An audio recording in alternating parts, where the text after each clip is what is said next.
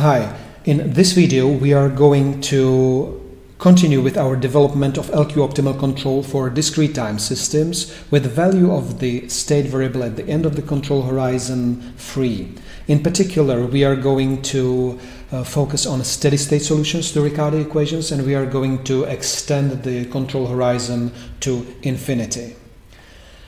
In order to motivate the development, let me uh, first recap what we learned in the previous lecture. We learned that uh, the sequence of optimal state feedback gains evolves in time. It's initialized at the final time and evolves uh, backwards in time. But for most of the control horizon, most of the time in control horizon, it remains constant.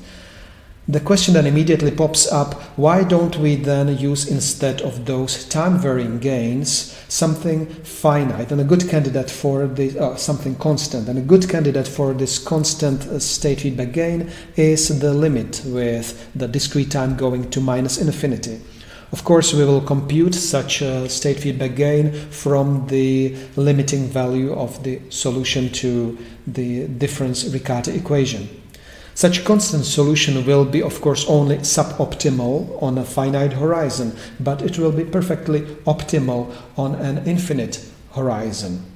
That means for n is equal to infinity. The cost function then, of course, uh, does not contain the term penalizing the state at the final time. So this is how it looks like.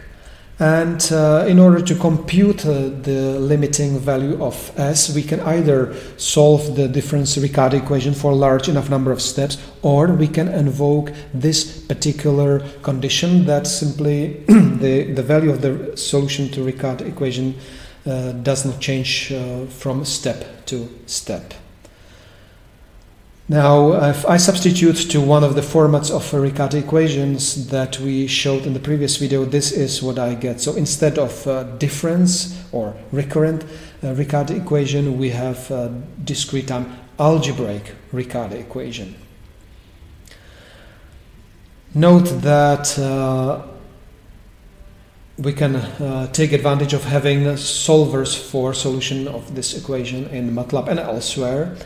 And I also want to, to emphasize that this is just one of the formats that you can find. A few more formats are listed in, uh, in the lecture notes and in the literature elsewhere.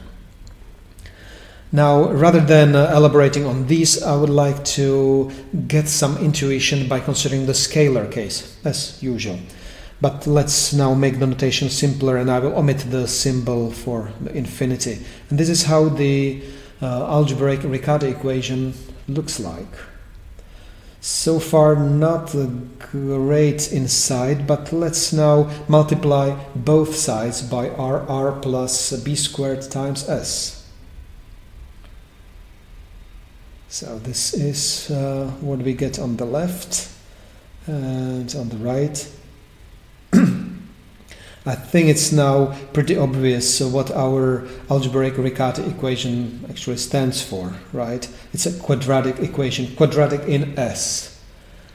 And this is pretty useful insight uh, because we know that a quadratic equation in the scalar case has uh, two or no real solutions, right? But then just compare it with uh, what we've learned about or, or uh, compare it with the fact that uh, the difference Riccati equation initialized by Sn converges to some S infinity uniquely. If it does converge, it will converge uniquely. So uh, now how can we reconcile the, the two? In order to do that, in order to reconcile the algebraic Riccati equation with the difference Riccati equation, we need to answer a few questions. First, we actually need to know if the sequence of sk is actually converging to something. Second, we need to know if uh, the limit to which the, this sequence converges, if it's actually dependent on the initialization by s uh, sub n and third, we also need to know now which uh, solution of uh, discrete time algebraic Riccati equation to choose. And the one that we choose, is it actually stabilizing our closed loop system? Uh, well, this of course only makes sense for systems on an infinite horizon, where stability issues are only relevant if we consider the time evolving towards zero. Now, the, to answer these questions, uh, it's uh, we would need quite a lot of technical stuff, which I will defer to the lecture notes. Let me at least now give the, the answers here. So the answer to the first question is that the system needs to be stabilizable, the system A and B, and then the answer to the second question is maybe a little bit more uh, tricky. It says that some auxiliary system, fictitious system, needs to be detectable. Let me now uh, give some illustration of what's going on here. We'll consider unstable system with Q matrix set 0 then the cost function looks like this. But with this cost function, uh, it's obvious that the minimum achievable value is a zero. And corresponding to this choice will be no control at all. However, since our system is unstable, the, uh, with, without any control, it will, be, it will stay unstable.